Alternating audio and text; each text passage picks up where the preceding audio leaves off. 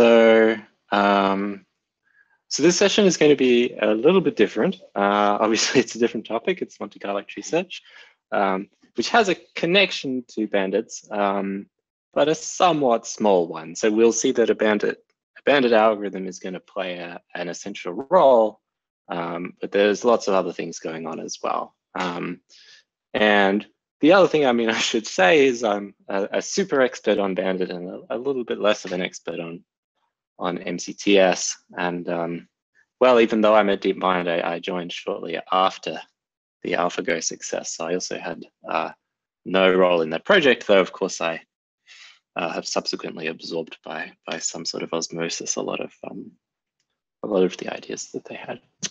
Okay, so so Monte Carlo tree search.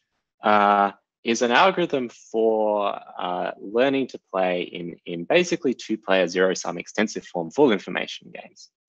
So this is games like chess and checkers and Go. So that's where you can see the whole board as a player.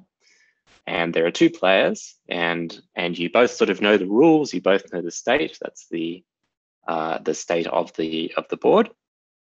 And and, and, zero sum just means that one player is going to win and one player is going to lose, or, or one player is going to get a certain utility and the other player gets the negative of that utility. So the sum of the rewards is uh, either zero or just some constant, which is just a shift, right? So in chess, one player wins, the other player loses. Um, if you look at games which have more players or they aren't zero sum, then lots of other uh, phenomenon come in which, which don't exist in zero sum games. And uh, well, we're going to uh, focus on games where the players are making moves alternatively until the game ends. I mean, if, if one player is making multiple moves, that's really just one sort of big move, uh, if you like. So it's not a very big restriction. And it's important that there's no hidden information, right? So if you look at chess, checkers, games like that, the players can see the whole board and there's nothing, uh, there's nothing secret about the game. Whereas that's not true in some other games. So for example, you have this Stratego game, which is a, a board game where somewhat like chess, but players set up their pieces so that only they can see actually which pieces are which, right? And uh, and, and, so then your opponent can't see uh, which which pieces are which, and they don't then actually know how the states are going to evolve as players move.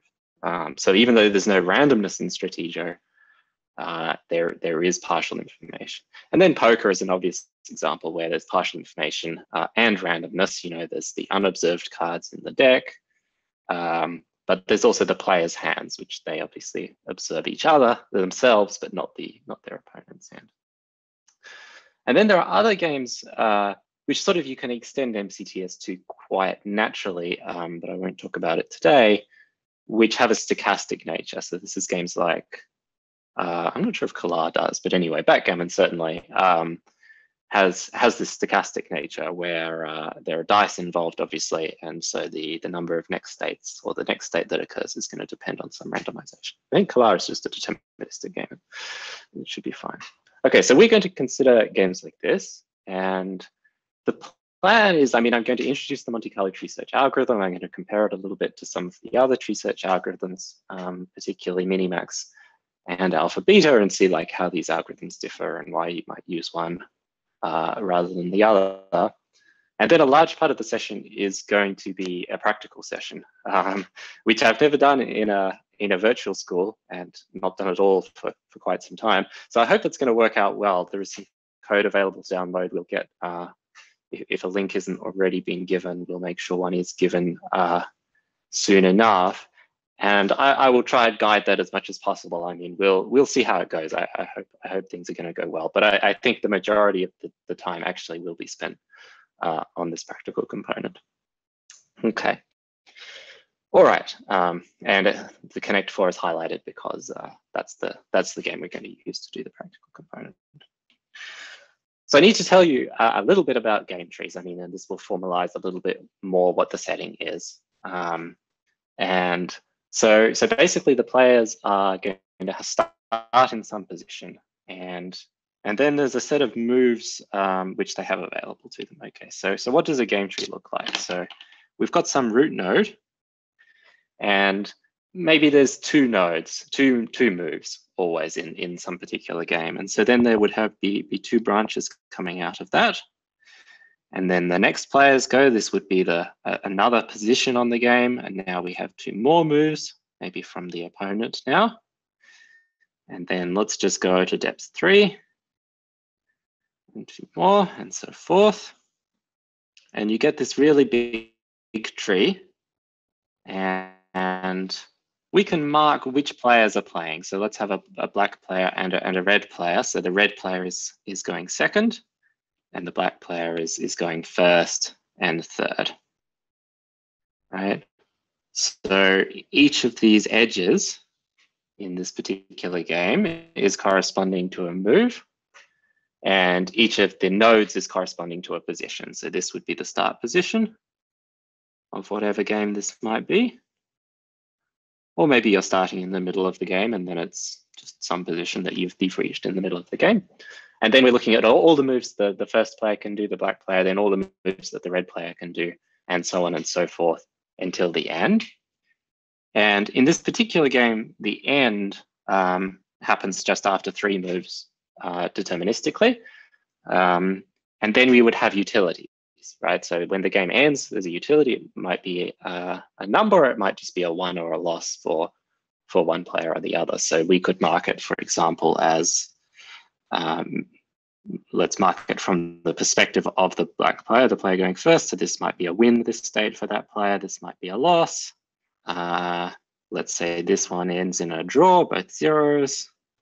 This is both minus ones, and maybe we have a one and a and a zero here right? So the players take turns. Uh, first, maybe the first player, the black player might go down this path, the bottom one. And then the red player might go down here. And then the black player might go down here. It doesn't actually matter what happens. And then the black player ends up uh, losing this particular game, right? Um, whereas if the uh, if we done it another way, uh, can undo these arrows. So maybe the maybe the black player takes the first action, and then now it's the red player's turn. Well, if the red player is looking about what they're going to do, if they go up, then the, the black player will also go up and, and in the game get this reward one. Uh, so probably the, the second player would be well advised to go down. And then it doesn't matter what the black player does, you get a draw, right? And and so this is a game tree, and the whole game tree specifies really the game. Um, and well, there are a few things uh, that you could say. So one thing is, is this really a tree, right? There are so there are lots of games where you can get to the same position uh, by multiple different moves. So it's it's it's completely possible that the the position here is the same as the position here, or something like that. Um, and sometimes it's good to model that and sometimes not. Um, but today I'm not going to talk about that. We call these transpositions. Um, but we're just going to treat it as if it's a game where you get to a state and and that's it. You just model it in terms of the moves that you took to get there, essentially. Uh, but it can be can be uh, wasteful to to ignore the fact that it's not really a, a tree in that sense, really. Okay, and and the goal of the players is to get the biggest possible score. They want to win the game. In this case, it's either a win or a loss or a draw. And the players uh, want to want to force a win. And they're going to do it by assuming that their opponent plays the best strategy, essentially. Essentially, what our goal is with the MCTS algorithm and with most algorithms that do tree search is to find the minimax optimal strategy. And, and this is defined in terms of backwards induction, and it's a strategy for the players which they can employ. And it guarantees that no matter what their opponent does, they get the, uh, well, that if their opponent is as mean as possible, they get the best possible outcome, okay? You can uh, also ask questions like if you're playing a, a, poor opponent, how can you exploit that? Um, and minimax strategies are not strategies that necessarily do that. You know, you can imagine if you're a chess player, you might know that your opponent doesn't like complicated positions, and then you might guide the position into a complicated position because you understand that your opponent is suboptimal in that sort of game. but here we're we're not going to try and exploit that. We're going to be very pure. We're going to try and find the the minimax optimal. And so how is this defined? Well, uh, or the minimax search is defined by a procedure usually going backwards. And, and so let's do a simple example.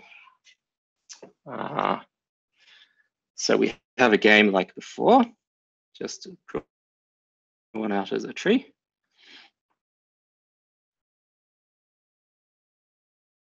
So the same kind of structure. And let's this time put numbers in. So three. So these are the utilities and they're always going to be specified as the utilities for the first player. So the second player is getting the, the minus of that number. Let's say this is a two. Let's go with a four, zero, zero, zero, one, two. Okay, and remember here we've got the black player going first and then the, the red player. So it's just one move from the red player and two moves from the black player in this game. And, and the way Minimax is working is um, you go backwards from the end is the simplest way to write things down. So you, you look at, at, the, at the leaves first. Well, the leaves, you know what the value is, right? The value is just given to you. That's the, the utility of the terminal reward or whatever, okay? And so then we go one further back and we say, well, what is the best move for the black player in this position here, say? All right, so if you are here, then, then you're obviously going to go and get the three immediately. And so we can just say, well, the value of this node is going to be three. Right? And it's very careful, it's very important to remember that you have to bear in mind which player is maximizing and which player is minimizing, right? But the black player we're going to say is maximizing, the red player is, is minimizing. Okay, on the other hand, uh, on the next node, so this one, you're going to take uh, the max of 4 and 0, and so the value is 4. Here we have value 0, here we have value 2. And now we can go back one more level, and now we have the minimizing player. And the minimizing player, if we're choosing between uh, going here, so we're looking at the value of, of this top red node, and we're thinking about whether or not we want to go to this, this the minimizing, we're going to go to the three. And so the value of this node is three. Meanwhile, the value of this node is zero. And so then the of the game is three. Okay, and this, this is called the minimax value. And the optimal strategy is just to follow the path that leads basically to get that three. So the, the, the black player is going to start by going in this direction because that was the action that maximized the minimax value. And then the red player will go this direction because that's the value that minimizes it. And then the black player will end up going and collecting their, their score of three. So the minimax value of this game is three. Okay, and it's not hard to see that the minimax algorithm, I mean, this is really an algorithm for finding out what the best strategy is. You build the whole game tree, and then you you go back using this backwards induction approach. Now, that's not a very efficient way of doing it um, for two two reasons essentially. One is if you build the whole game tree in memory, that's an enormous amount of stuff to store in memory, uh, which you probably don't want to do. And and that's easily overcome, actually. You can write Minimax search as a depth first search, and I'll get to that uh, in just a moment when we look at alpha beta. But the other problem is that Minimax actually does a lot of uh, very redundant searching in an information theoretic perspective. And, and that can also be avoided for, for completely for free, uh, which alpha beta is going to do as well. Uh, but I see there's a few questions. Maybe now is a good time for a pause. we only had one question by um, uh, somebody that was already looking at your code. And this was by a TA. Answer was okay. install uh, color. Okay, good, good. Question is we will get to the code. Yeah. All right. Okay, so so let me explain alpha beta, and um, I wonder if I can don't know if I can copy. Let's just let's just write this out again. Okay, so so let's let's explain alpha beta and how this is saving um, uh, saving an enormous number of nodes potentially, and um, and at the same time we can write it as a depth first algorithm. So the same tree again, same two players. And the same values as well.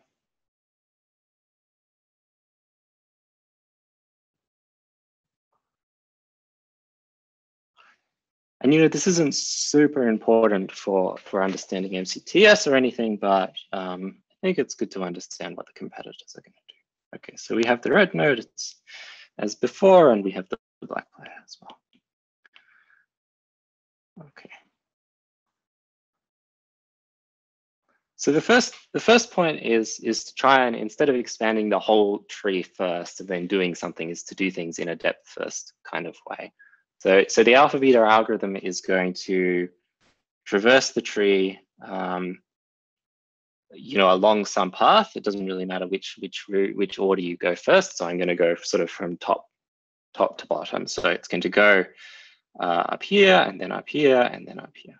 Can just traversing the tree out to the leaf uh, along the topmost path that it can. Eventually move ordering becomes really important. It actually matters a lot which order you search moves. You should try and search moves that are good first. Um, but, but for now, that's not important. And now what we're going to do is, is kind of the same procedure. Um, so when we're, we're sitting at this point, we examine uh, first the three, and we see, well, we can get a three if we go to this point. Uh, so let's just put a three here. And then it's going to look at the two and say, is that better than three? No, it's not. And that's the end of the moves. And so it has a value for this node. It's now three. And then the algorithm backtracks and it starts looking at the red player, right? And so now we're, we're looking at this node is the one that we're examining, right? We've figured out that the value uh, of one of the moves from there is three. And now we're looking at the minimizing, minimizing players' choices at this red node, right? So they can get a three. Uh, and remember, they are they are trying to minimize now. And so let's say we we say, okay, for now we know that we can get a three. We don't know that's the best yet, but we know we can get a three by going up. And now we start traversing down down the next the next path we have a look here and we're trying to figure out if the value of this node might actually be better than, than a three for that player. And this is where the, the, the improvement from alpha beta starts. Now we keep traversing and we see that we can go here and get a four, right? So that means that the value of this node is at least a four for the first player. Okay.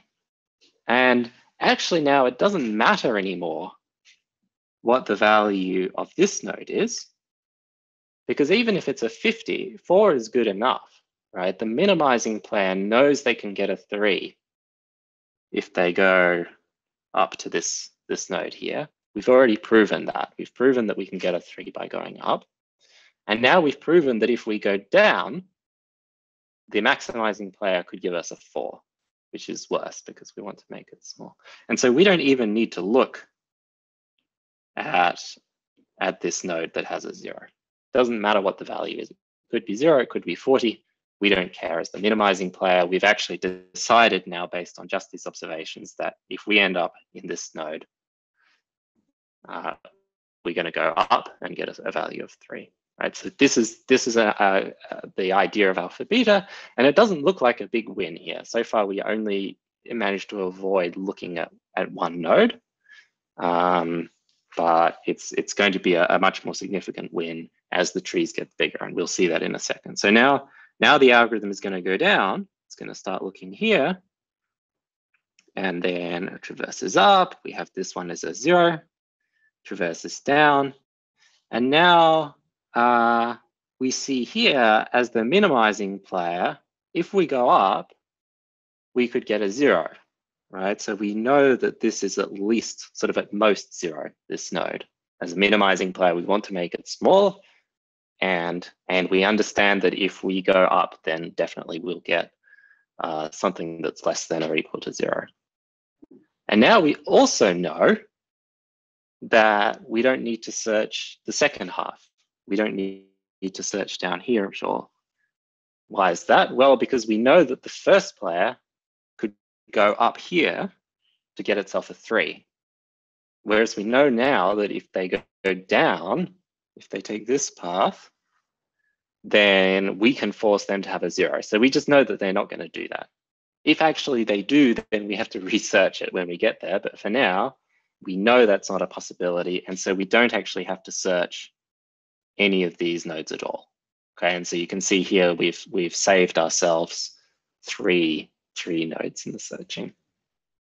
Okay, and all of this can be done in a depth first way, as I've described. You're just like traversing along the tree, uh, ordering the moves in a particular way. And you can see perhaps here that it's, it is going to help a lot if you can search the good moves first, because then the players are going to prove to themselves that they have good moves.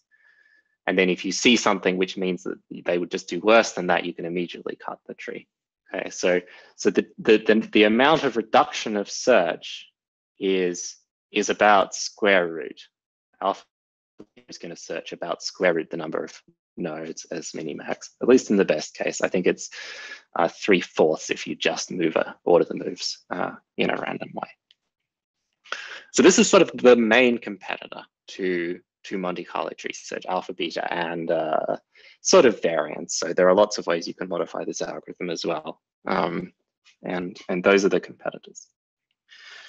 Okay, I want to say one more thing uh, about Minimax and Alpha Beta, which is if you look at any game that you might actually want to play, really, uh, the tree itself is going to be much, much, much deeper than you could possibly hope to search, right? So if you have two moves in every position and you have a game that lasts 50 moves, then you've got a tree which has two to the 50 leaves. So, so good luck. Um, so what both of these algorithms do, and essentially what MCTS is going to do as well, is at some point you stop and and somehow you try and evaluate how um, how good is is a position using a method which isn't the actual utility of the game, right? So you have again your tree, and the tree just goes on and on and on. Right, I'm not going to draw it out, but you've got a really huge tree. And at some point, you know, at the very end, we can assume that all of these things are finite. If you want minimax and so on to be good, then you should probably assume the tree is finite, but but maybe enormous. And so what the idea is, is just to say, well, I'm willing to search to depth three, say. And so you cut the tree here at depth three. And at the nodes that you get beforehand, you have to provide some sort of evaluation about how good that position is. And it's a heuristic, it's an estimate of what you think the real minimax value of that state will be. And I mean, there are lots of ways of doing that. So a very trivial one, um, which the alpha beta implementation in the code that I've, I've, I've written for you does, is it just scores it as a zero if the game hasn't ended there right? So you could imagine a situation where some of the states maybe ended a bit early. So maybe this, this state is a genuine terminal state. The game has actually ended there and that's within your within the depth of your search. And so you might have a value for that state. Let's say one player wins, and then all the others you just mark as being zero. This is a very uh, a very naive way of doing things. But you can do things in a more sophisticated way as well. So for example, if you're playing chess, your evaluation function might be you know, a thousand or something if it's actually checkmate. And otherwise, you might count the pieces in some way. You know, pieces, knights and bishops are worth three, rooks are worth five, pawns are worth one, and you add that up for each of the players and you get a score. Okay. Uh, but this this this idea is completely essential if you want to run a search, a, a game tree search uh, in practice on any any sort of big games. Okay, so this is this is the competitor, and you want, yeah, there is two questions that can give you the opportunity to give a little bit of look ahead. Yep. So we have TH Vaz that is asking uh, what are the relation with the knapsack problem and uh, relation to the dynamic programming principle in general. Uh, okay. Um, so so problems like the knapsack problem, uh, do, do not have exactly this adversarial flavor. So there's not a minimizing player and a maximizing player.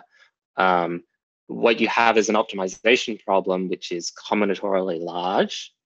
and this is where an exponential comes from, and that's sort of why it's hard. And for the knapsack problem, it turns out that it's provably hard in the sense that you uh, you can't in polynomial time, at least probably not, uh, unless p is equal to np, uh, solve this problem. What's what's a bit different, I think, is you know if you look at a tree, a tree is an exponentially large object, so it's very easy to argue that solving a game in a minimax sense is going to take exponential time because you might just have to expand the whole tree right? You imagine a tree which has a win in some state that you can force and everywhere else is just zeros. It, it's going to be impossible really to find how to win without expanding the whole tree. Essentially, the data is exponentially large. So it's not surprising that tree searches are really, in the worst case, a hopeless problem. The knapsack problem is different because the input is polynomially large. So you can just read all the input and then you have to use your ingenuity in some way uh, to uh, to find a good solution. And it, it, turns out for that particular problem, in the worst case, that's not really possible. Uh, but that's um, not obvious a priori, whereas I think with tree search, it's quite obvious that it's a hard problem. In terms of dynamic programming, uh, obviously this backwards induction view of, of minimax is is is the dynamic programming, but of the most boring kind possible because it's a tree. Uh, so normally, I think in dynamic programming, I think of something like um, you know the classical applications of pathfinding and graphs and things like that. And and in those applications, uh, there's lots of potential to revisit nodes in your graph. Essentially, you have a tree that you build out from your starting space, but it's going to end up in in one of finitely many nodes. And so you have an exponential many uh, paths that cross through the same nodes. And dynamic programming is generally going to give you big computational improvements when that happens, and so not in trees. So yes, it's naively dynamic programming, but it's uh, in in not in not in one of the useful settings, unfortunately. Uh, and the second like, if, uh, second one, if you like it, uh, Christian is asking the relation with uh, neural network learning. So both for, for guiding the MCTS and also using the MCTS, well, not exactly sure, but to improve the training of the neural network.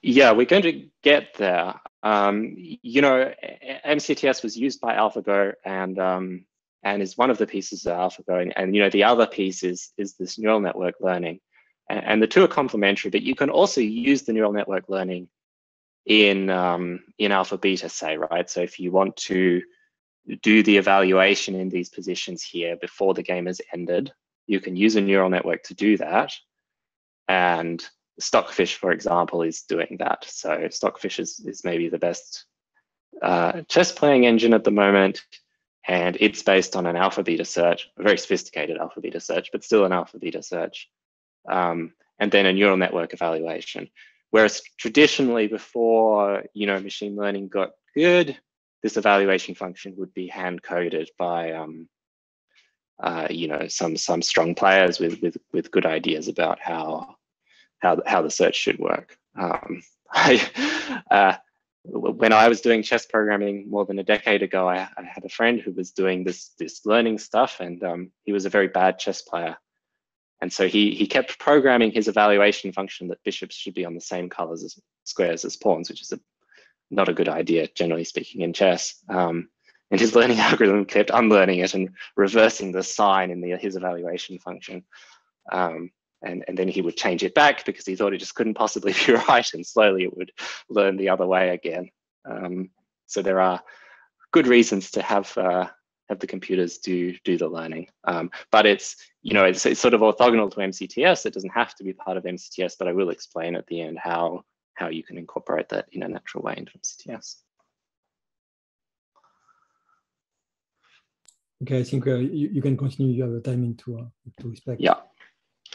Okay, so so very briefly, why why why would you not use um, just just alpha beta and and and there are a few reasons and and sort of Mm, some of them are more compelling than others, I guess. So, so, so one reason is it's sort of hardish to make the search really selective.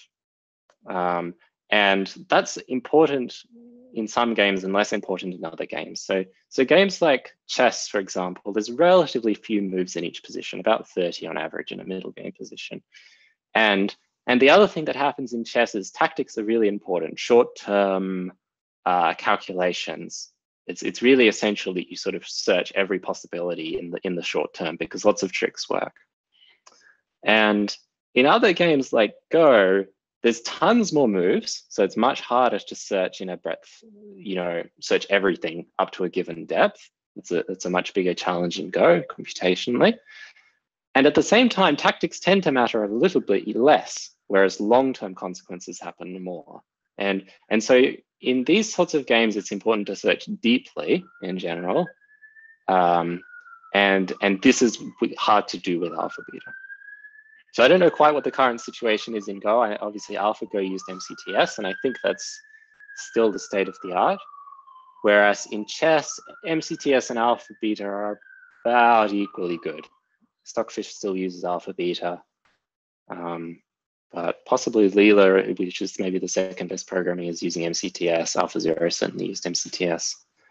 Um, but so I, I think they're sort of about level now in, in chess.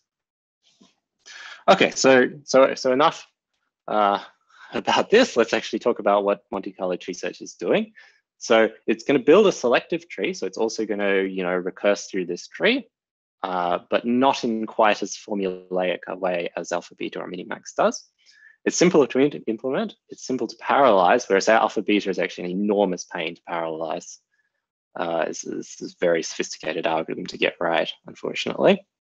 And, and as we discussed a little bit, it's relatively simple to incorporate knowledge um, or, or, or, machine learning into, into MCTS. Okay, so, so what is the picture? So, so essentially what uh, Monte Carlo tree search is going to do is it's going to build a tree of the game iteratively um, and, and slowly increase the, increase the tree size. So, so in each iteration, uh, we start, we have some tree. Right. Um, and, and what we do with our tree in the iteration, so let's draw a little tree. It's exactly the same as before, but we haven't yet searched out the whole game tree. So we've expanded just a little bit of the tree. Let's just say here, and we have red player and black player as normal. Okay, so this again is, you know, the current position is the root node, is representing the current position. And we have this tree. This is what we've expanded so far. And at the very beginning of the MCTS implementation, the tree is going to have just the root node, right? And then uh, iteration by iteration, the tree is going to get bigger. So then what you do, there are sort of a few parts. So the first step is to traverse somehow or other to a leaf. So we're going to have a function which uh, maps a node to one of its children. Okay, and somehow or other, that function is going to end you up uh, getting to the leaf. So maybe at the root node, it says go this way, and then it says go this way, and now you've ended up at a leaf node. Okay, so we have to specify what that function is, and uh, that's where the bandit algorithm is going to come in. The bandit algorithm is going to choose how you end up going to, to a leaf. Okay, but let's just say that you get there. So now you've got to a leaf and you're going to expand that. So there are two more moves with a black player. And, and sometimes in some implementations, you just expand one of the children. Sometimes you expand all of them. Um, but let's, let's just expand all of them. And now you just choose one of those two at random. Okay, so let's just say that ends up choosing us this one. Probably should have used the other color. Okay. So this is the expansion phase of the algorithm. So you use some bandit algorithm to get to the leaf. And I'll explain in a moment what rewards are and, and you know how, what are the number of plays and things like that.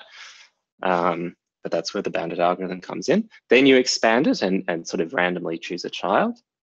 And then we want to have an evaluation for this leaf node. And to do that, we're just going to do a random search until the end of the game using some policy. And well, that policy you get to choose and you can be clever about it. Uh, the original version of AlphaGo, for example, did use a neural network to do these rollouts. Um, but the simplest thing to do, and the thing which works amazingly well, is just to search out randomly. Have just random play until the, the end of the game. And that's that's what the default version of MCTS does. And it's actually, you can prove that this is um, this is a good idea. And so this this creates some path to the end of the game. We're not actually going to store these uh, these nodes, but it happens. Just some random path. Right, and again, we've got uh, there's like a red player playing every second, every second move, and a black player playing the rest,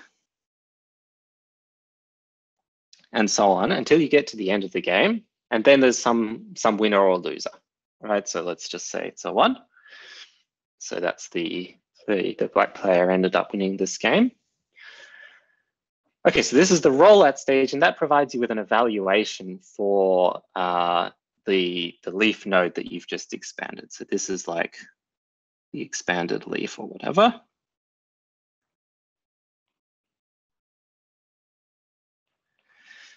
And here you have a, a score of one. So the black player won in this position.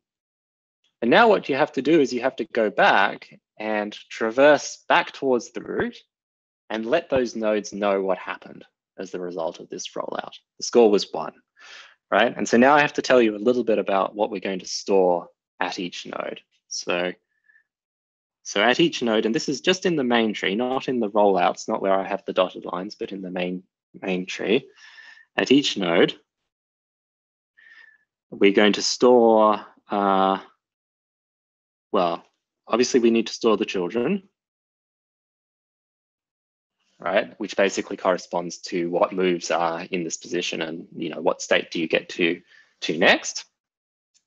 And then uh, for each child,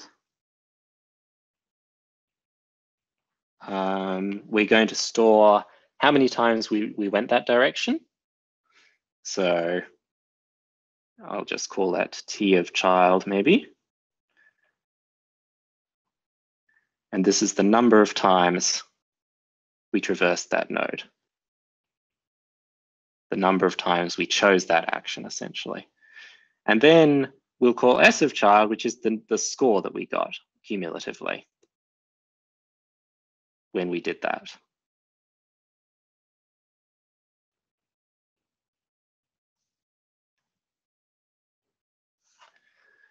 right?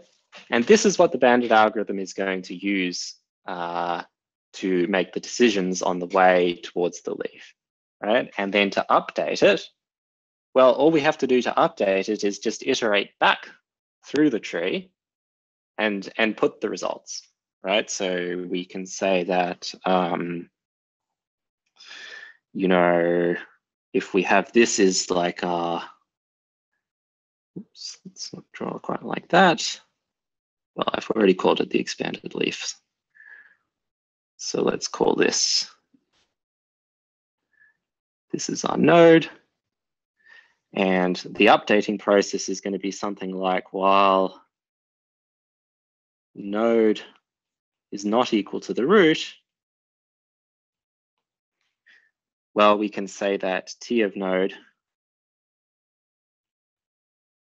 is going to be incremented by one and S of node is going to be incremented by the result.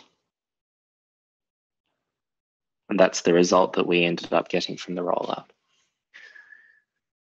And so now we have sort of the information that we need to, to build the bandit algorithm to make the decisions about what we're going to make.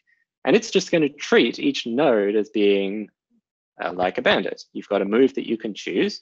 That's that's your arm. So you've got a, in this case, two moves in every node, and you've collected the score that you got each time you uh, you played that action and how many times you've played it.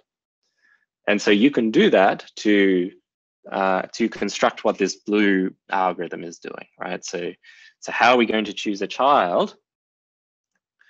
So this is the uh, let's call it the expansion function.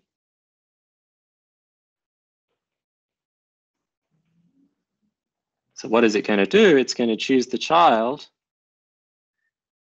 uh, at a node as the argmax. Let's just index it by C. And now we have, okay, we want the empirical mean. So that's S of C divided by T of C. And then plus the bonus term, which if we use the same bonus term that we looked at uh, earlier today, could be something like square root uh, 1 over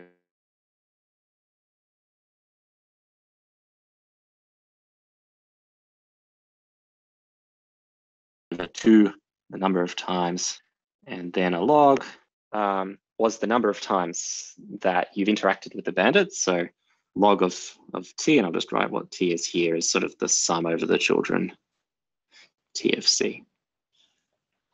Okay, so that's the algorithm that you're going to use to traverse towards the leaf. Okay, now is a good time if there are any questions about this. Not exactly about this. So one of the questions was already answered by one, but I, I can raise it again. Uh, so that's about the connection between um, MCTS and bandit algorithm. I read you, you the question, why do we use a bandit algorithm to choose the node if the nodes are dependent? Um, so, uh, okay, I, am not exactly sure what is meant by the nodes are dependent um, because they're not exactly random. The only randomness really is introduced here by your your policy potentially um, or the rollouts actually. The rollouts introduce randomness. Um, why you should use a bandit algorithm is a, a fantastic question, and why you should use this bandit algorithm is also a fa fantastic question. And the answer is you probably shouldn't. Um, you should probably do something a little bit different, and and we'll get to why. So, but but the very basic point is uh, we want to explore these this tree in a selective way.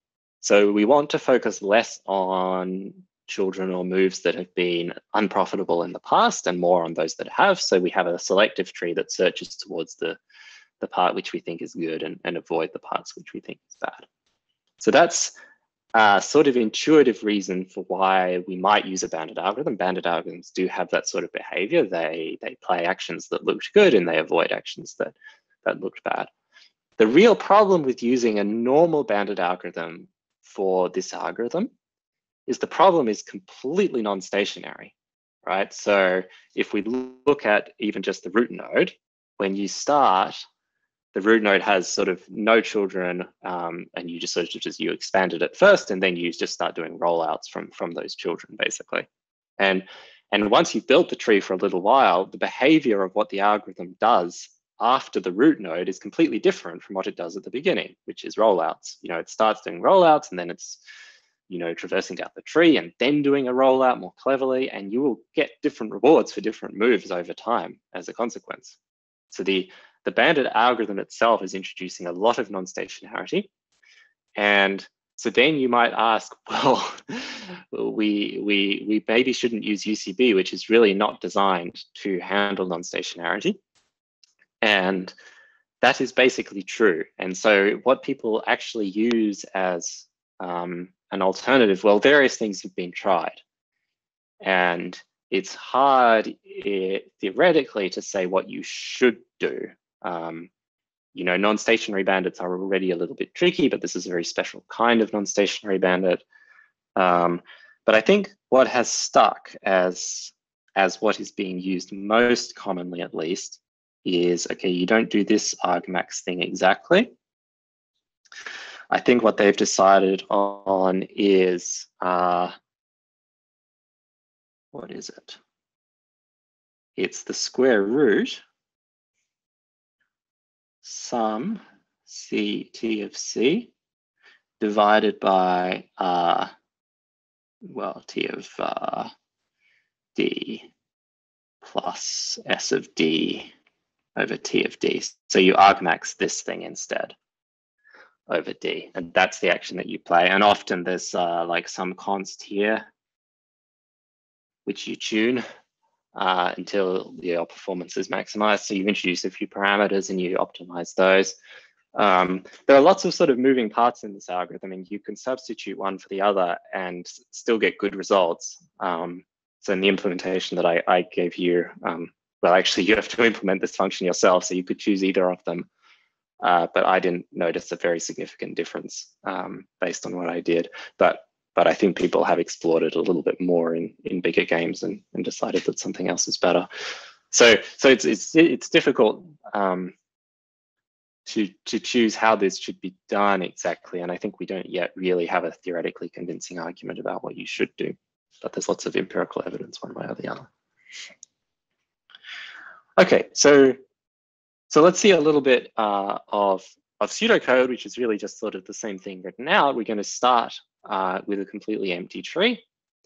And then we go in iterations uh, one after the other until, until we run out of time, essentially, or you just fix a number of iterations in advance.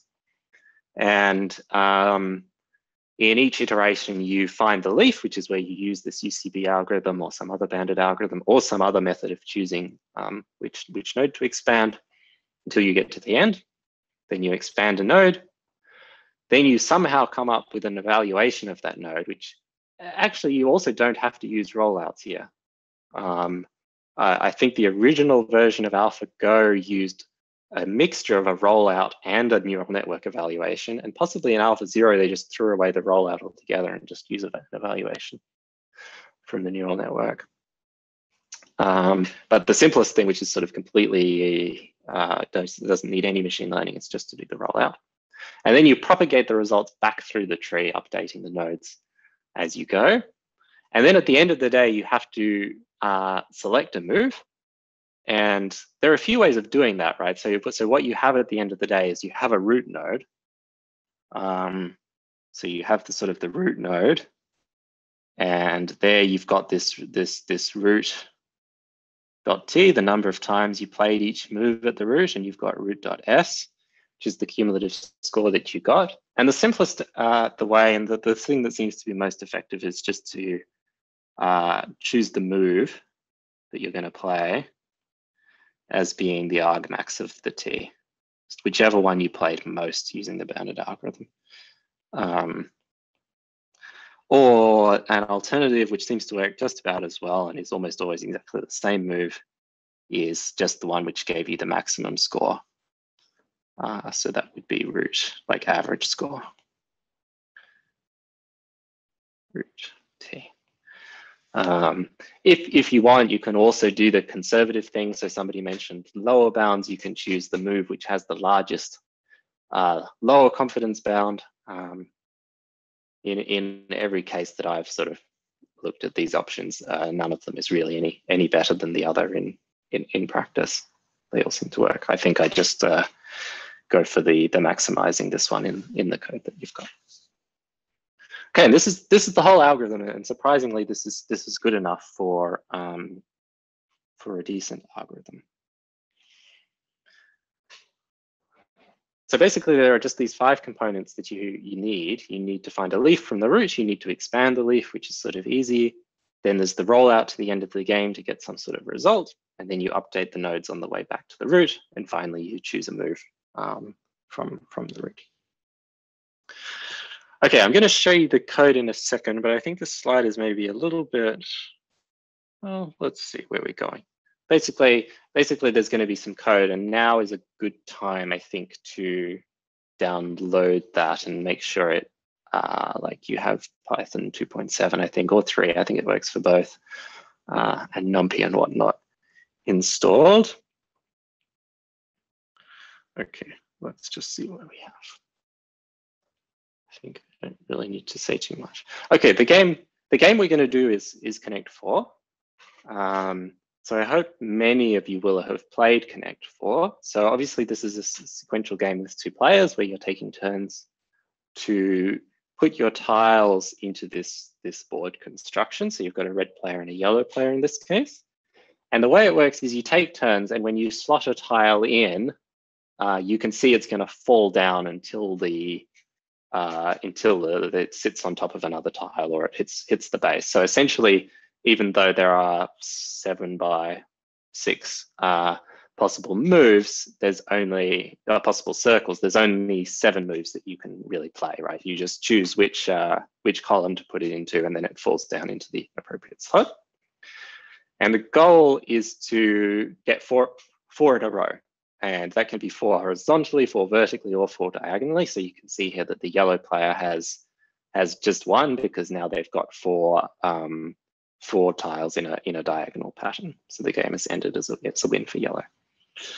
Uh, so this is Connect 4, and well, it's known to be a forced win for the first player if you play optimally. It's not that easy to play optimally though. Uh, it's not like uh, not not trivial, but it was solved in 1988, and and the the solution is quite impressive. It's like a combination of a heuristic, uh, sort of a search, but then a, a heuristic arguments to, for why this move or that move can be eliminated and things like that. So it's um it's not a completely brute force search, um, but for a long time it has been possible to brute search it completely. And now if you have a modern alpha beta solver that sort of solidly implemented, it can it can search it in about about a second or so, I think. Um, but the the Python one that I gave you can't, uh, not even close.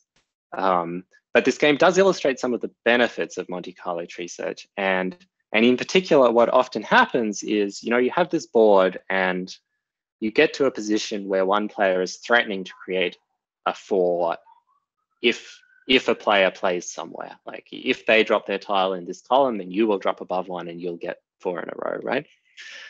So you create threats like that. And then the problem with alpha beta it, without a really good evaluation function is it kind of figures out that it can just delay losing for long enough that the depth isn't reached, right? So if you're searching at depth 10 or something like that, it figures, oh, just play in other columns until uh, until depth 10, and then it's zero because because the evaluation cutoff has been reached and, and everything is fine. Uh, whereas MCTS, because it's doing these rollouts to the end, even though the rollouts are random, it understands that its opponent often loses because it has to eventually play into that square. And so it captures this long-term effect which Connect 4 has, um, which is not easily captured by alpha beta without some sort of sophisticated search.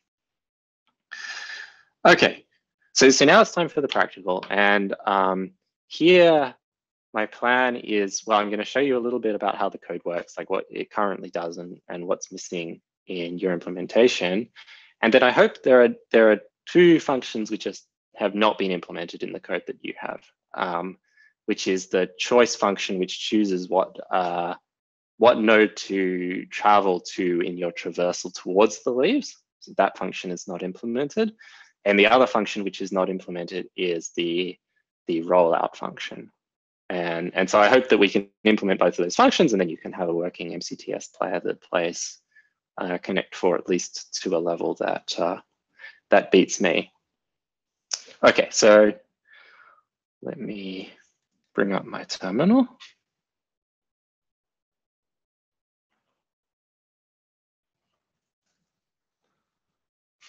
Oh, and if there are questions, then I can can also take questions at this point.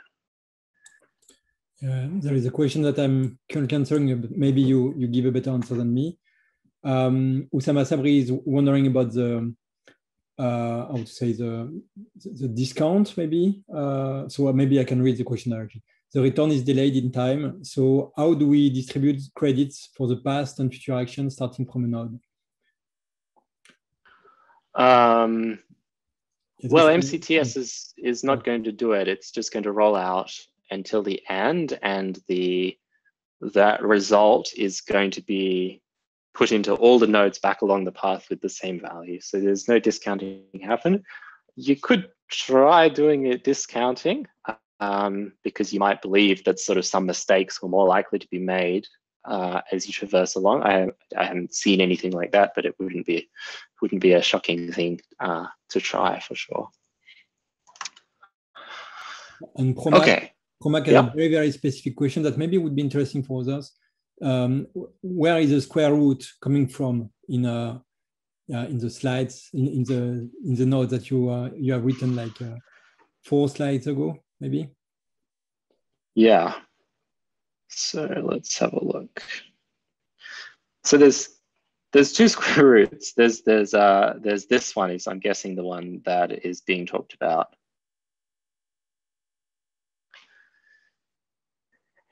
And um, an, an answer is somewhat difficult to give. So so so okay, one thing I can tell you is if you run a bandit algorithm, you know, but instead of using UCB, uh, you use this sort of index. So you use mu hat argmax uh, a mu hat a. That's the empirical reward that you have from that arm at so and so time.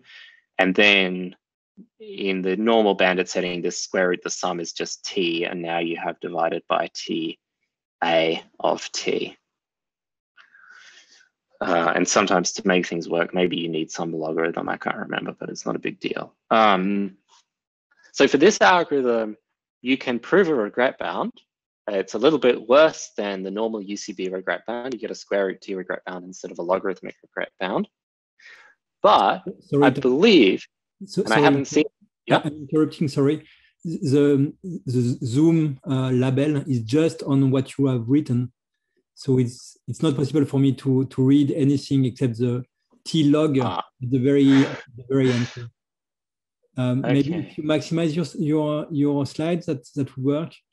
Yeah, I can. Sorry for the inconvenience. No, no, that's it's good. Perfect. You should be able to see it now.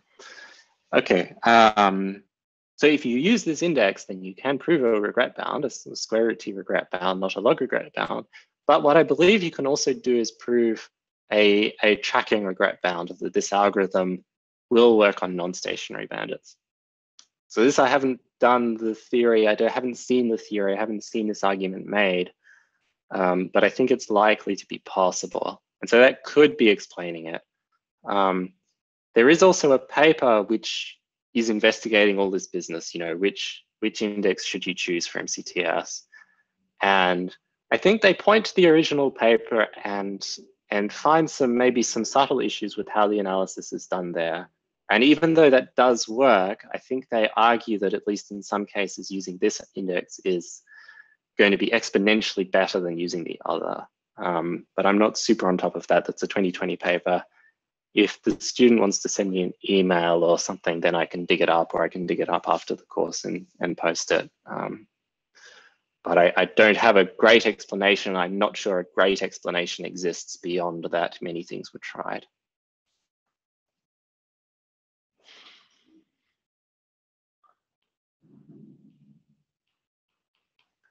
Okay, so so let's get back to to the practical part um, and see how things go. All right. Um, so I hope you can see this this well enough.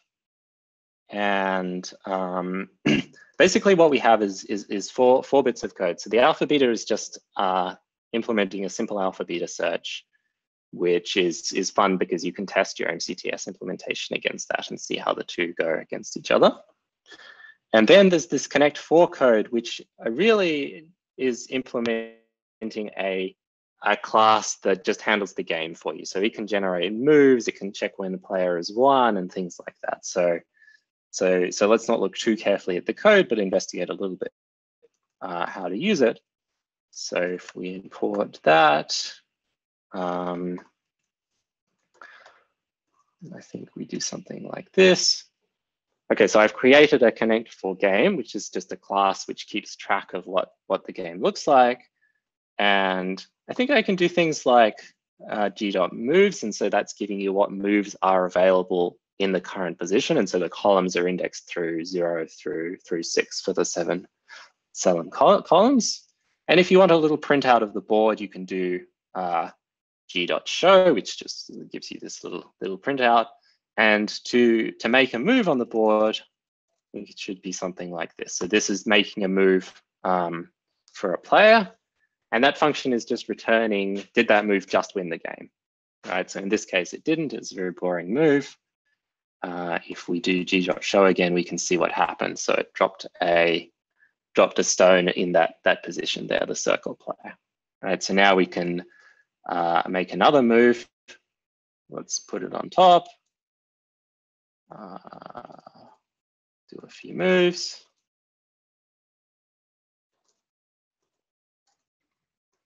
See what happens.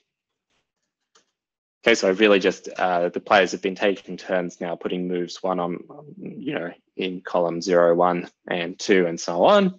And now we should see that if we if we make a move in in column three, then uh, that's going to be a win for the circle player because they'll have four circles in a row at the bottom. So let's just, I hope this this works. It's terrifying doing some sort of live demo. Yeah, okay, so now see it returns true because that's that's when the game ended, right? So now if we do g.show, we see that the, the circle player clearly has four, um, four circles in a row and has won the game, right? So the other function which you have access to on the board, which is pretty useful, is just unmaking the last move. Um, oops, maybe it's just on unmake. Oh, I totally wrote it wrong. Okay, so so that just unmakes the last move, right? So if we do g.show, you can see that uh, that position has been undone. If we undo a few more moves, then uh, then we're going backwards, right? So it just lets you know, manipulate the board, find out when you've won, um, the, the simple good stuff like that. Okay, so then, um, then we have the MCTS player itself in a testing function. And the test function really is just there um, so that you can run the players playing against each other um, in a little simulation. So at the moment it's set up, we've got player one and player two are both being created as alpha beta players and and that's initialized with a, with a depth eight. So they're just affixed to being depth eight. Um, and if your computer is a little slower than mine, you could make it depth seven or depth six or something like that. Then it will be really fast.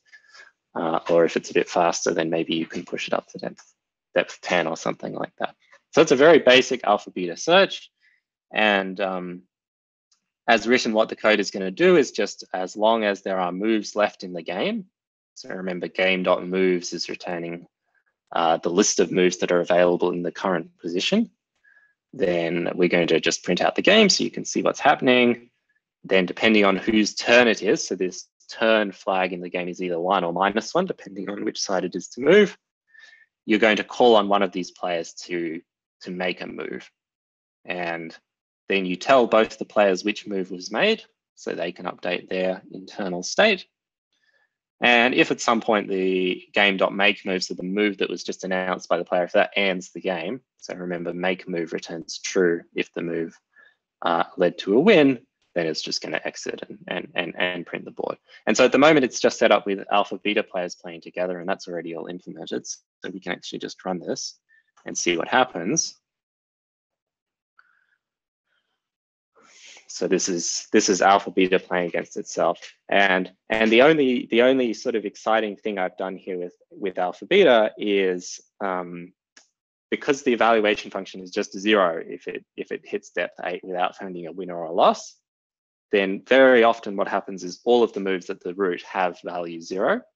And so in this particular implementation, just to make it interesting, it randomizes over all the moves, which are are equally good. So it will avoid losing, but amongst those moves which don't lose, uh, well, of course, if it finds a win, then it will try and win as quickly as possible as well. But um, if, if there are a bunch of equal moves, it randomizes between them to keep things sort of exciting. Okay, it seems my computer is rather slower than normal thanks to uh, Zoom, perhaps, I don't know. Uh, so let's just kill this and uh, run them at slightly less depth which will make these players a little bit worse, but anyways. Okay, as you can see now, it's uh, considerably faster. And these, these policies are not going to be completely stupid. It'll sort of avoid uh, losing immediately, as you could see just then, but they're not that good. And in this particular case, you can see that player one, which is the circle player, did eventually uh, make a win. This little caret thing here just indicates where the last move was played. So in this instance, it was here. Okay, but this is just alpha beta playing against itself. And, and I hope that um, you guys will be able to implement the rest of MCTS and then see how it does against alpha beta. And I've written a good chunk of the MCTS code. And that's here. And, and basically we have two, two classes. One is the node class, which is storing the information in a node. So that's like the counts, the number of times you've you know visited each of the children and the corresponding scores that you got when you did that. Uh, and it also stores obviously the children if there are any. Right, and um, so this, this the expand function just takes the set of moves which you're given to it from the board. And um, well, are sort of two cases. If there are no moves, then this is a terminal node. The game is, is a draw if there are no moves left available. And otherwise, it's just going to set up some counters for how many times, or the scores in this case, that you've seen uh, for each of the moves. And in this case, the number of times that you've played each of the moves. Okay, and then it creates uh, creates the children, which is just a new node for, for each of the children.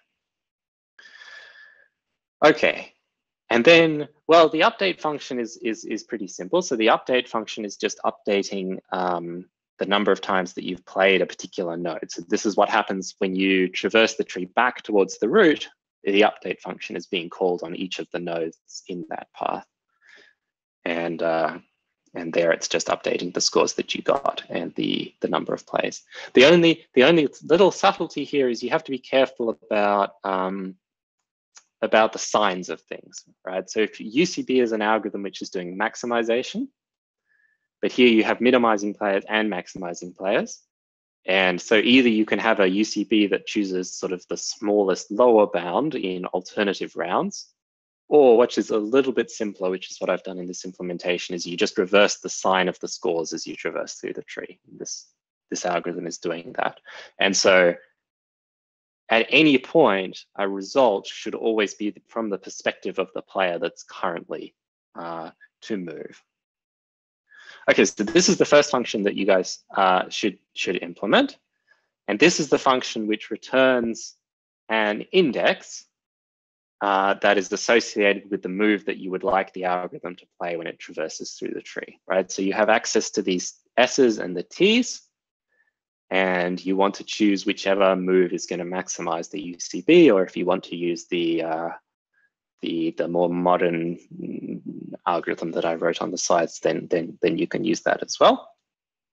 Okay, so that's the first the first thing that needs to be done. And then we have the MCT algorithm itself. Um, so this is the class which you just initialize. It creates an empty game, so that's what it's going to use to track um, the state of the the state of the game. And then basically the interesting parts as well, when it calls act, so that should return a move that the algorithm wants to play. And in this case, it's just going to return the result of some other function, the search function. And the feed function, remember, is updating the state of the player, right? If we look at the test function uh, about how that's being used, the feed, the players are both getting fed the move that just got made. So, so that should just update the internal state of the player. And, um, and that's what's going on here. So it just makes the move. Okay, and then the actual search, well, it's really doing um, doing doing what the pseudo code says it should. So we create a root node, which is just empty at the start, and then we iterate through calling the MCTS routine, which is just going to do one pass through the uh, one pass to the to the leaves, then one expansion, then one rollout, and then one update back through, and then that's it. That's going to do that iteration number of times. And then at the end of the day, it finds the index at the root uh, that was played the most by the bandit algorithm during the search. And then it returns the, the corresponding move. Okay, and then at the end of the day, it just outputs uh, what score it thinks it's getting, uh, which is some sort of estimate of how, how likely it is to win. Okay, so for the actual MCTS function itself, so this is the bit which is doing um, doing the expansion to the leaves. And so, so what it actually is is a is a recursive function. You could do this in a linear way. It would probably actually be better to to do it linearly, but um, I'm so used to writing alpha beta code that I did it uh, recursively. But but basically what it's doing, it's checking is a, is a node uh, a leaf or not? And if it is, then it's going to do an expansion and plan to do a rollout as, as well, rather than continue expanding a tree indefinitely. And uh, if it's not a leaf, then it's not going to do a rollout. Okay, so the terminal nodes are those where you know that it's a draw, so we can just return zero. That's so what this function returns is the value from the perspective of the player of this pass, basically. Okay, then it's going to call this function, which you have to write. This, this node.choose function is choosing the, the index of the move that it's going to play next as it expands towards the leaves. Uh, get the corresponding move, right? So the indexes are just sort of, you have the list, there's a number of moves that are available, and then the moves IDX actually gives you which move that was. Okay, so then we make the move, and if it wins straight away, that's what this if statement is doing. If it if it wins, then we know that the value is one. Otherwise, if we're going to do a, a rollout, then uh, we get the value of a, of a rollout, basically. So that's the other function that you're going to have to write. And why is that negative there? Well, it's, as I said before, we're flipping the sign every time we switch from one player to the other. And so the rollout is now from the perspective of the next player. And so we convert the sign back to being relative to us. And if we're not doing a rollout, then we just traverse down the tree to the children that we've chosen, okay?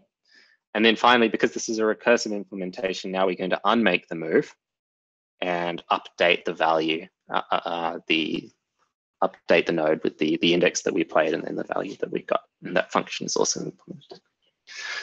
Okay, so the next function which is not implemented is this rollout function. Uh, so assert false is obviously going to cause some problems at the moment. And so what you want to do is implement a function which uh, makes moves in a random manner until the end of the game, and then returns the value from the perspective of the player that's currently to move. So, so a very simple thing which I could do, which would be broken, is I could do uh, moves equals self dot game dot moves. That gets the list of moves that are possible.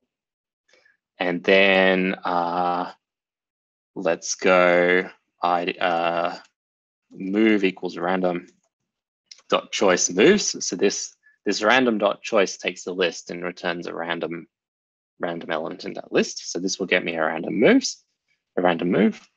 And then I could do something like if self dot uh, game dot make move move, uh, then return one. Okay, so what would this do? This will choose a random move in the current position and check if it wins. And if it wins, I return one. So there's one very obvious problem with this is it's not doing a rollout until the end of the game, right? Uh, so that's that's that's one problem. The other problem is that it changes the state of the board and it doesn't unchange it afterwards and and this is going to do going to going to wreck things. So so what this function has to do is it has to return the value of a rollout, but it has to make sure that any moves that you made uh, while doing that rollout end up getting unmade. So I could improve this a little bit uh, by saying something like res equals one, res equals zero, and then game dot unmake move, return res. Okay, so then this this is much better in the sense that the state is now the same as it was when I called the function. That's, that's important, but obviously this function is still not doing a rollout to the end of the game, which it, which it should do. Okay, so if you want to test your rollout function, um, then there's this little test rollout thing here. And when you call that, uh, and there's code to do that in this test.py function. So if you sort of uncommented this, then it would call a, a um, call that test rollout function. That just does some rollouts from a couple of set positions. If we go back and have a look at the, the test rollout function, it's um, it's going to make 5,000 rollouts from the starting position and print out the average result, the average number of sort of wins that you got, um, and then makes one move uh, in the far left-hand coordinate, and then then does another 5,000 rollouts there. right? And for me, I was getting plus one, plus or minus about 0.05, and then minus 0.03, plus or minus about 0.1 for the output. So your, your solutions should give about the same. Okay, so I think I think I've given hopefully enough information. The only thing I'll say is that at the end, when you want to test it, uh, you know, you can, this is for testing the rollout, but once you've done both and you think you're good, then, you know, you can make player one an MCTS player. And, and then that will initialize the class that you've just implemented and you can see how, um, how your code does. And this iterations you can change from being 20,000. I'm not sure how long that will take exactly. I think it's not too bad. Um, but if you wanted to run much faster just for testing or something like that, you could make it 5,000 or 1,000. Okay, so we're quarter past and you know, I have a few things to say at the end, but they're not that important. So I think we should spend half an hour or so um, getting this to work. And well, I hope the TAs will be able to help to some extent, and I can also answer questions. Um, so please do ask questions if something's confusing. It's really just these two functions that need implementing. Um, um, so for the practical session, maybe your questions uh, would be better in the um, in the matrix room uh, because in the Q and A's we would have difficulties. And uh, yes, definitely the teams are, are here for for that, and they are even prepared. They, they did your your exercise uh, during the night, uh, yesterday. Um, Fantastic. So normally that, that should that should work. So for, for the attendees, don't hesitate to ask questions. Uh, better on Matrix that, uh, than on Zoom. And uh, and for the TAs, well, if you have some questions that are particularly relevant, maybe you can uh, broadcast them to uh, to Zoom with a Q&A. Um, I have some questions from the audience that maybe I can uh, I can raise to to you if mm -hmm. you mm-hmm. want. So there is an interesting discussion between Antoine Chaffin and Erwan Le Carpentier about parallelization of MCTS uh, in general. So I'm not going to re read all the conversation that is still ongoing. Uh, but yeah, if you want to say something about parallelization of MCTS, I think it would be interesting to. to um, yes, I've read a few papers on on this, and there are there are lots of ways to to have a crack at it. Um, so one very simple way is to do multiple rollouts at the leaves and parallelize the rollouts. So you like collect a little bit of extra data at every leaf, sort of essentially for free. Um, and that's that's nice because it's completely trivial to to implement. You don't need any any mutexes or anything fancy like that. You well, very few anyway. You just spin off a bunch of uh, programs doing a search when you get to a leaf, and then you average the results and you you pull those back through the through the updates and you just get a bit more statistical efficiency. Um, the the other way to try and do things is to do things at the root and just split up the root and have a searcher for each uh, for each move at the root. And um, and so you basically you have a separate search for each one, and that's also very easy to implement, but it doesn't share data in the in the in this sort of in an optimal way. And then there is another algorithm which works at the tree level. And I can't remember the details of how this works, but um, again, I can dig up the paper and, and post it maybe at the end. But there is a sort of a better way of doing it, uh, which is in a way more similar to what the alpha beta search does. It does require mutexes and you have to be a bit careful to implement it. Okay, we also had questions about the paper that you mentioned during, the, during your talk. Maybe we can collect the, the references and uh, the bibliography and post that later. Uh, yeah, exactly. One, one, question by Jérôme Renaud about uh, are there some known zero-sum perfect information games where alpha, beta, and MCTS perform poorly? Uh, well, they certainly perform poorly on on lots of stochastic games. Um, I, I, think the answer is uh, is going to be quite easily yes if you have games that have enormous state spaces or enormous action spaces. You know, it's easy to construct games that have huge combinatorial uh, action spaces. Um, but well, I, can I think of an example off the top of my head? I'm not sure. I mean, Go is an example where alpha beta traditionally has worked very poorly. Now my guess is it works quite well because we have such good evaluation functions for Go. Um,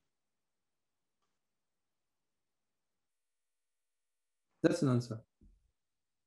Uh, and uh, we, we had a bunch of questions about the extension of MCTS to continuous domain um, that I kept for the end. Uh, maybe you want to, to say something about that? Uh, I don't have any expertise in that. So there's there's a, there's a lot of um, you know the keywords to look for, I guess, is open loop planning maybe, but this is not in the game setting. Um, so I'm I'm not sure what people are doing in games, sort of large extensive form games with continuous actions. I think this would be quite a difficult challenge. Um, you know, really you should do some generalization. So, so, so the problem is in a bandit problem, you have many, many actions or continuum of actions, and you define a model that lets you generalize between them. And you could certainly try something similar in a extensive form game with, with continuous or very large action spaces. It's just going to be harder to do because it's uh, the topology is a little bit less obvious than it is for um, for bandits. But still, I, I, my guess is you can you can just try that, and then and then the same techniques can potentially work out. But you have to be careful, I think, because you don't want to build a tree which has uh, that you never visit the same node again. But actually, I don't know of an example of a game where people are successfully doing this. But it may be just an unknown for me rather than an unknown for the research community. Okay, so uh, there is other questions that are raising while you are speaking, but maybe we can keep that for, for later and, and continue with, uh, with the Anzan. Mm -hmm.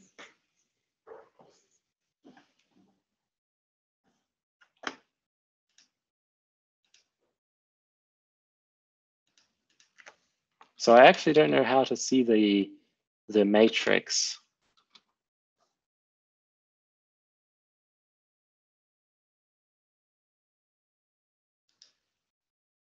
Is there some place I should go to see the questions people are asking there? Okay, that's not something that we, we plan to do, but uh, it, it, won't be difficult to, to do if you go to uh, the RLVS. Um, you, have the link uh, to, to, connect. Mm -hmm.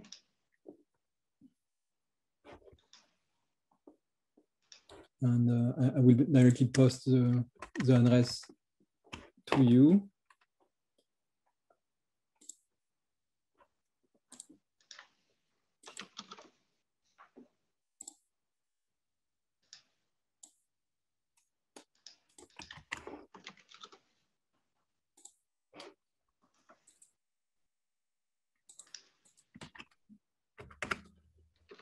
So here it is in Zoom chat. I believe that if you click on this link, uh, you will be brought to the login uh, of Matrix, where you mm -hmm. will mm-hmm. have to create your, your account. And uh, that's taking uh, two minutes. I see.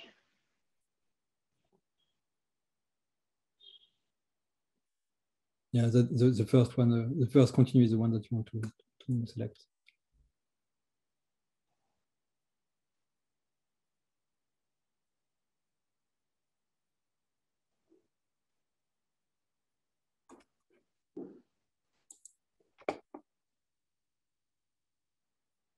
For now, we don't have questions in the in the matrix room. Uh -huh. Everyone understands what's going on.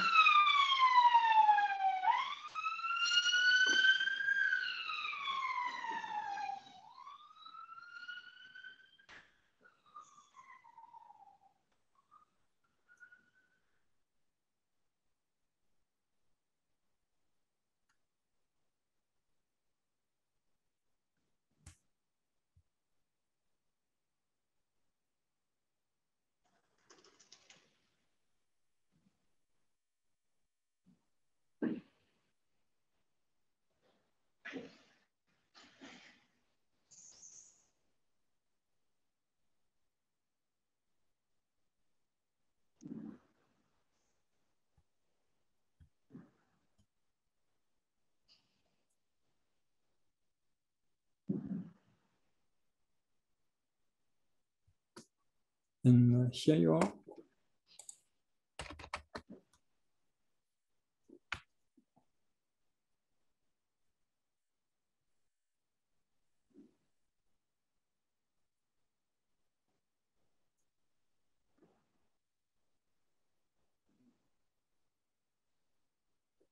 Okay, so you have a question by Joseph. Uh, just say, well, you, you, can read it as well. I didn't write down the exact formula for the bandit and cannot find it in the slides. Let's show you. fast, Joseph.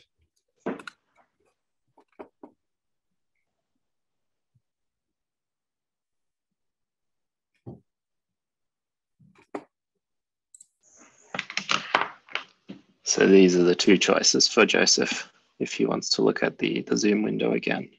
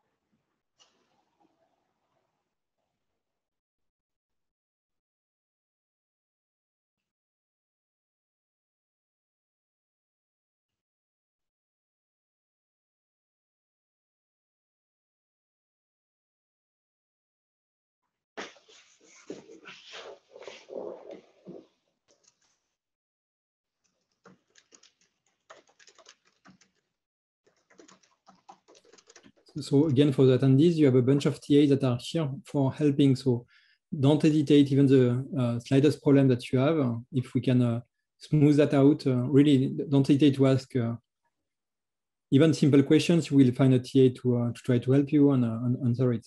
So don't be, don't be blocked, Uh, ask questions, get some help.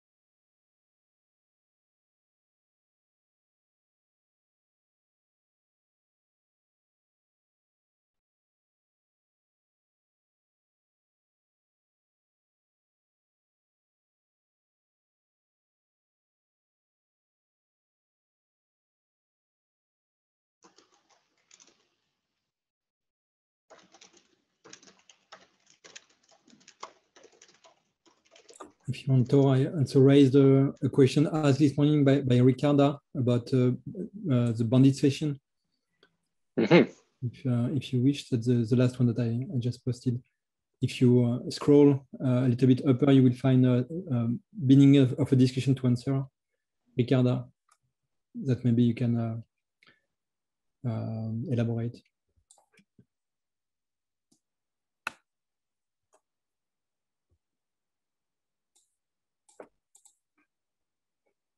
Uh, not sure I see it.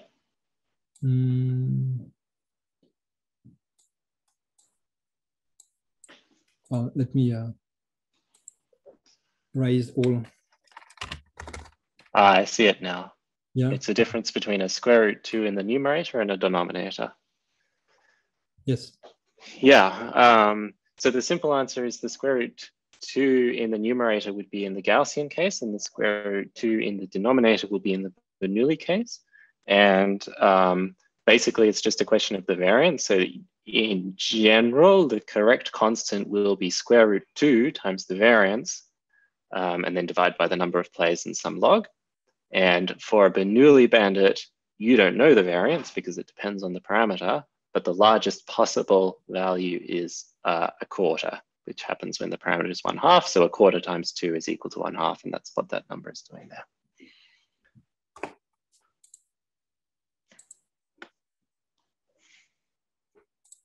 Thanks.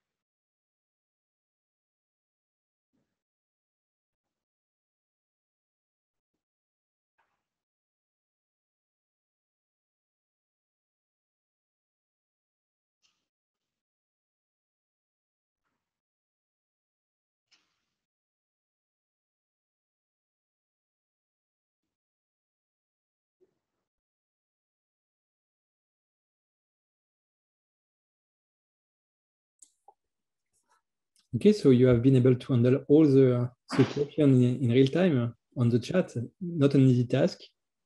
Thanks a lot.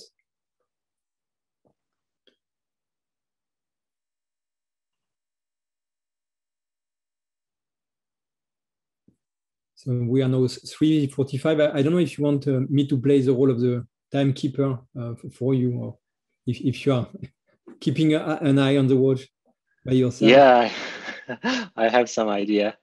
Um, yeah, I think I think what I'm going to do now. I hope some people have maybe succeeded, and maybe some people haven't got it running yet. Um, but maybe I will just show uh, my solution and give a little demo, show that it can actually uh, do a thing, and and then I'll discuss a little bit more about some other aspects of of MCTS, and then we'll we will be out of time. We, so, so we have some. So I, I, don't know if you are familiar with that. We have some polls in uh, in uh, in Zoom. So you you can well the basic one is do you understand very well, quite well, not so well, not at all. That can be adapted to uh, are you done very well, quite well. Uh, if if this is useful to you. Yeah, maybe we should do one of these. See what happens.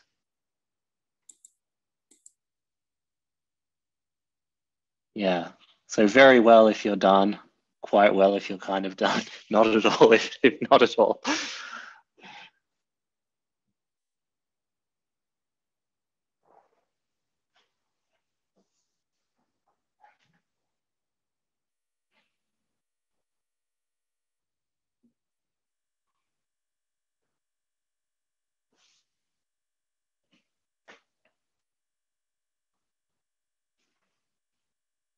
I'm seeing a lot of quiet wells.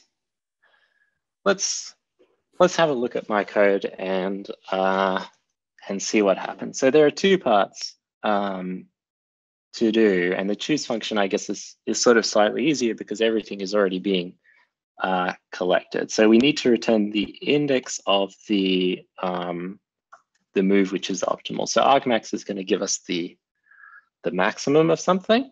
And then NumPy is super permissive about um, about how you can uh, operate with vectors. So here we're just going to divide the number of um, the number of wins divided by the number of plays that we have, and then um, we can we can do something like like this, um, and then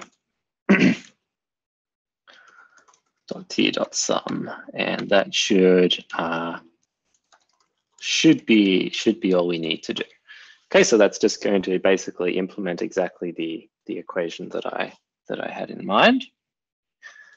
And then for the rollout function, it's a little bit trickier. And um, okay, obviously this one is not going to work. And the, the, the tricky thing about the rollout function is uh, getting the signs right, especially if you do a um, a recursive definition, which is um, what I did. So, so we can get the, the set of moves. That's the first thing that we're going to do. and um, if, if, if there are none, then the game is a draw.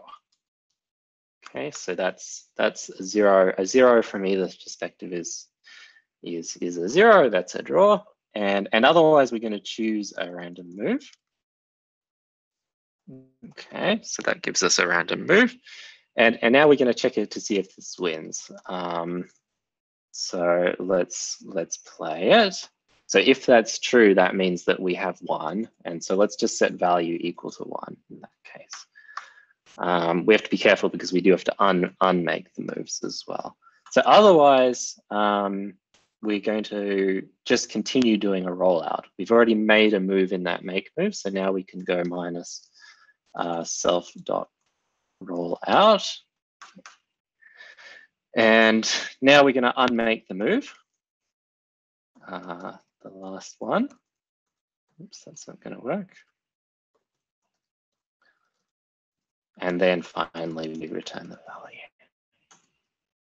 Okay, so that's a recursive implementation. It's probably, again, better actually not to do a recursive implementation, just do it linearly, and then you'll have to be careful about uh, flipping the signs and undoing things appropriately. But this one is, is quite easy to do in this case. Okay, so I think that should be good. And now if we look at the test.py, uh, want to make sure, so player one is now my MCTS player, player two is the alpha beta player. And let's just see what happens. So, uh, oh, okay, I've made some sort of mistake. Yeah, you are missing a S to the moves of random.choice moves. Uh, That's SAYEG that is uh, pointing that. Thank you. Wonderful. Okay, now we see how long this takes. But I think one thing that's that's interesting, and if this is too slow, then I'll I'll make the iterations less.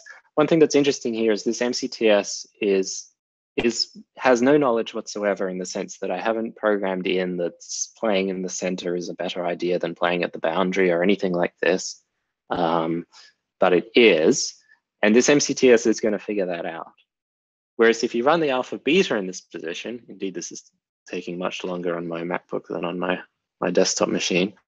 Um, if you run alpha beta in this position, then it's going to play a uh, just a random move basically because none of the moves lose um, very early on. So let's just kill this and see what happens if I uh, change this to, I don't know, 2000. Python is very slow.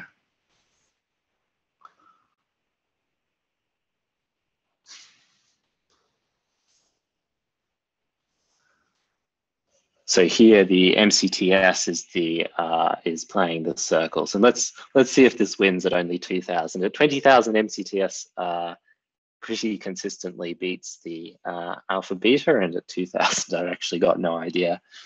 Um, that's that's not very many. 0.68, it seems to be quite convinced that it will though. But let's see what happens.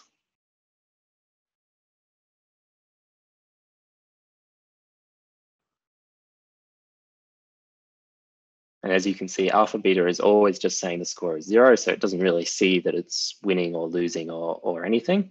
Um, at this time, it is playing instantly. Okay, now alpha beta sees that it's losing.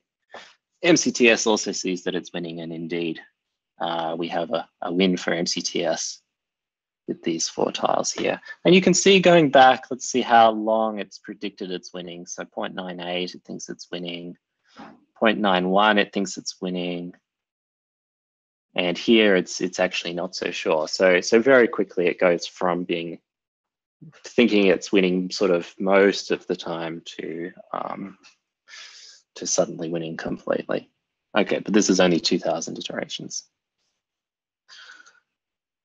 Okay, so that's uh, that's that's it for the practical. Thanks very much for uh, for working through that.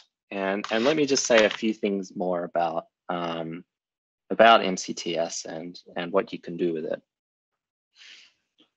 Okay, I can go full screen on this now.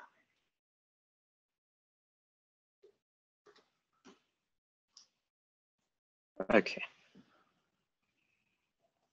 So, all right, so the first thing is, is what can you say theoretically about about MCTS. And you know, it uses the standard algorithm, and we have lots of theory for bandit algorithms. And um, for for MCTS, it's much harder. And, and, let me just explain the reason. So we know that UCB has theory if you have a stationary problem. But the problem is that uh, MCTS is very far from being stationary. So, so the theorem that we have essentially, more or less, is that MCTS converges to the optimal.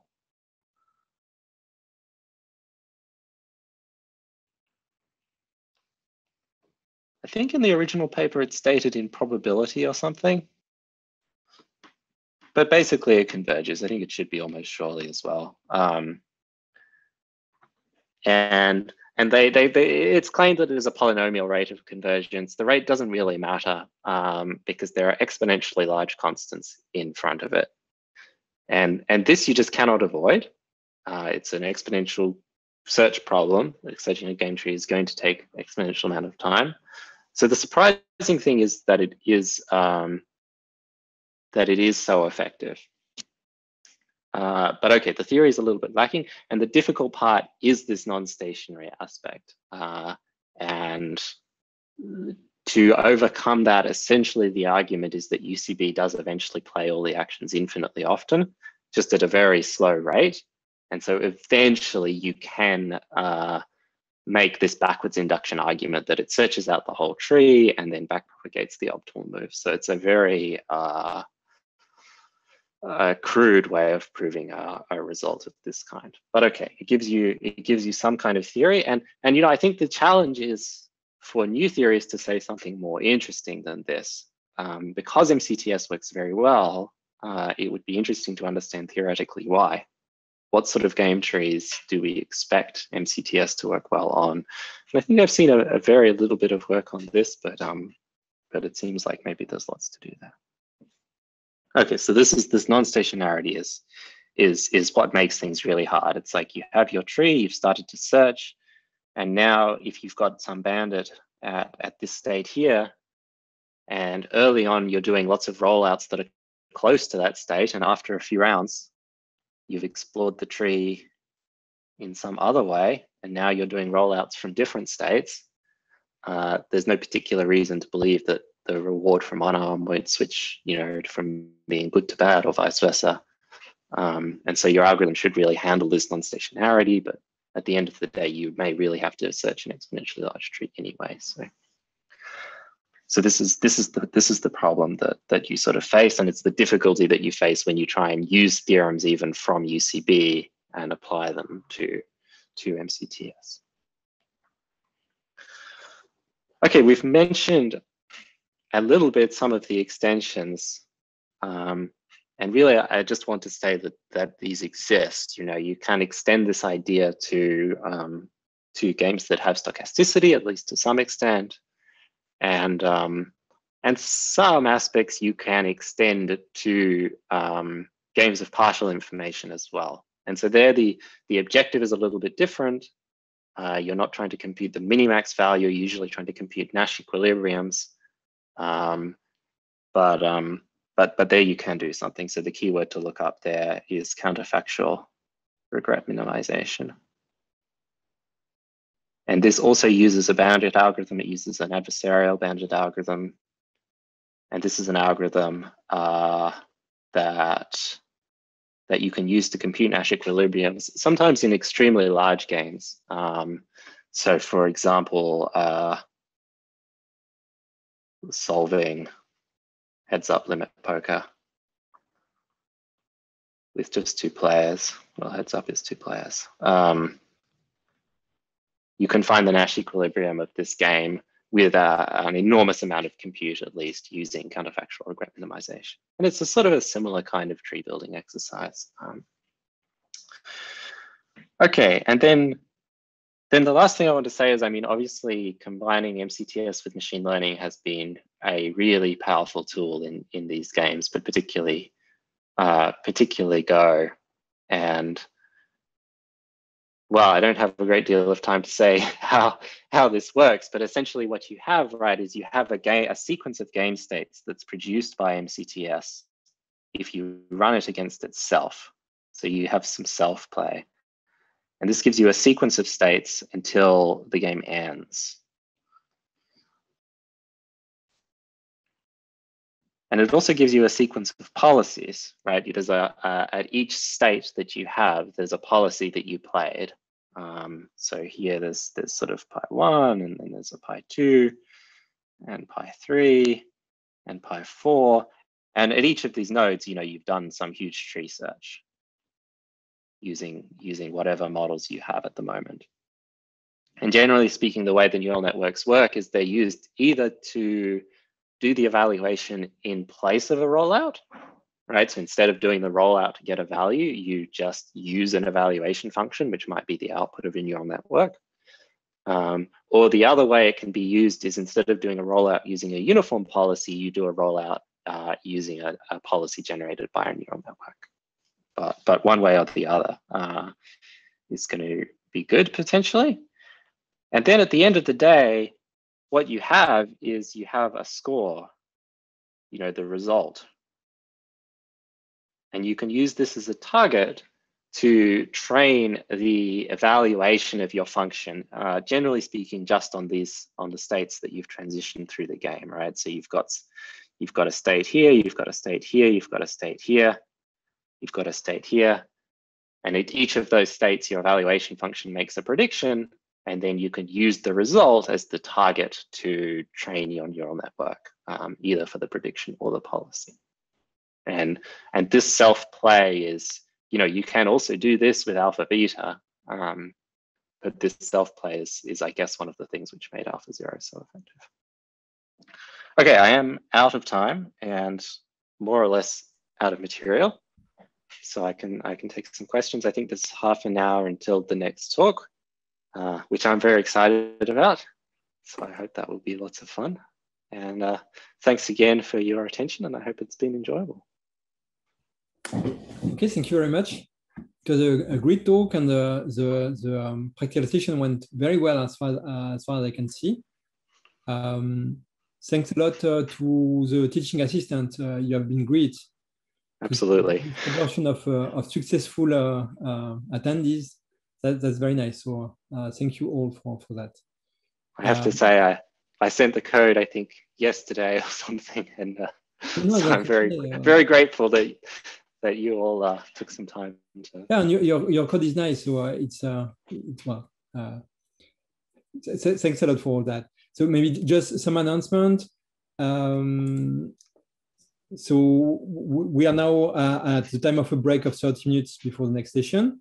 Maybe uh, we, we can take some questions uh, during this break, but that's, that's just for the point about the time. Um, Tor very nicely answer, already answered some questions during lunchtime. Uh, this question, this answer and these questions have been uh, posted on the RLVS Bandit uh, chat room in, on Matrix. Sebastian is going to post that again or to, to up the post to, to make that uh, make that visible. And I think I have a last one. Um, yeah, um, thanks again to the TAs and specific mention to Louis Béthune and uh, Erwan Le Carpentier. We are, we are doing a particularly great job during this session. Um, okay, so that, that's it for, for my announcement. Uh, we managed to handle uh, more or less all the questions that were raised on, on Zoom. And uh, you also uh, answered all the questions that were on the chat. So I think actually we're out of questions as well. Okay. We have a lot of thank you that I'm cleaning to see the questions. So I think we're done. I think if you want to have some question, yeah, a, a very last one by Antoine Chaffin, just uh, last time. Um, so I, I, just read it. Maybe you can see that as, on Zoom as well. Uh, maybe I can ask again, uh, since you spoke about ML to evaluate states. Okay, so there is a proper definition of my question. The ending score of my state is calculated using a neural network. Hence, it is better to evaluate multiple final states at, at once this means that I need to expand and simulate multiple times before backpropagating. While the expansion and simulation part will indeed explore different paths, the selection process is deterministic. Thus, I will uh, only calculate the children of the same selected leaf. Does it make a sense? Um, vectorialization of, uh, of evaluating the, the score uh, using a neural network. So you want to evaluate several scores at the same time and uh, propagate, uh, roll out uh, several branch at the same time, several, several, several exploration at the same time. Do you think that it makes sense? So, so maybe I'm a, a, little bit confused. I mean, I mean, so one one part of the problem here seems to be that if your algorithm is entirely deterministic, you might worry that you'll repeatedly expand the same nodes. Uh, but I'm not sure why this would be the case necessarily. I mean, the UCB bonus is going to um, decrease the nodes that you repeatedly expanded, and so your algorithm should stop expanding them at some point.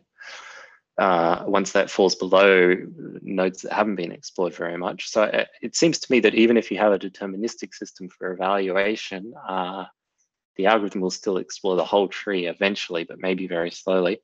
I do know that some uh, some versions of MCTS they do add noise. There's essentially they use a kind of Thompson sampling instead of UCB uh, as the algorithm, and that obviously makes it more random and um, and less deterministic. But but unless I'm misunderstanding something, I'm I'm not sure why um, why this is this is obviously a problem.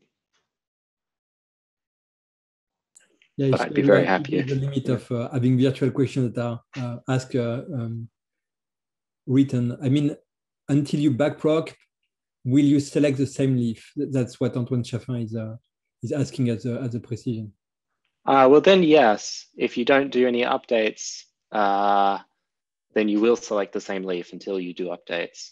And and so if if if you really want to delay uh, doing those updates, then then I would try the adding the randomization.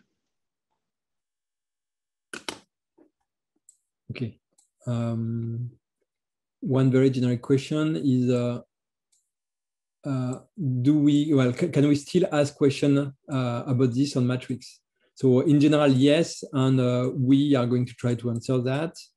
Uh, if you have more questions directly to Tor, I'm, I'm not sure if Tor, you're willing to spend a little bit of time on matrix, but maybe we can forward some questions to, well, let, us decide that offline. In any case, you can ask questions on matrix and we will try our best to find an answer to these questions yeah, I mean, I'm happy to look at Matrix until uh, until Don's talk, and then I guess uh, probably I won't look at it again. But if you want to email me a question, that's also fine. Um, uh, let's say a, a last question. Uh, well, it's marked as a last question in any case. Um, you mentioned it during the talk. Uh, those both UCB bonuses for MCTS lead a regret upper bound. Let's say again, sorry question by Paul, by Paul Dowdy. Um, does, I'm, I'm not sure I understand the question, so I just read it. Does both UCB bonuses for MCTS leave a regret upper bound? Oh yeah, uh, yeah, and the answer is yes. Um, you know, the two choices were this sort of mu hat, uh, the normal one. So, so this this sort of style versus mu hat uh, plus square root little t over big T. Um, so the first one is going to leave you lead to the logarithmic bounds that I proved this morning. And the second one leads to a square root t, square root n bound. Um, so which is sort of minimax optimal, but asymptotically not optimal. Uh, I, I don't know of a reference for that result, but it's something that I that I proved at some point for some reason. And um, well, once you know the proof for UCB, it's not hard to, to repeat the proof for, for that algorithm as well. Okay, I have I have two uh, simple, well, not, not simple, but uh, opinions question at the end. I think that, that can be nice to uh, to finish and conclude. Uh, they are really seeking for your opinion. If you want to increase what the what Kirubel is is um, naming the cognitive power, so I guess the capability of the of the algorithm, uh, would you focus more on the size of the model or on the arch architecture of the model itself? Um, I, I, I, so, well, both these questions are, are about the evaluation component, so sort of the neural net aspect, if you like. Um, and I have no clue whatsoever about the answer, I have to say you would need to ask someone who's an expert on neural networks to. Uh, okay, the, the, the final one is is even more opinion. Do you think that a human can still beat AlphaGo? Uh, I think that's pretty clear. No, not a chance. Okay, so that's it for for this session.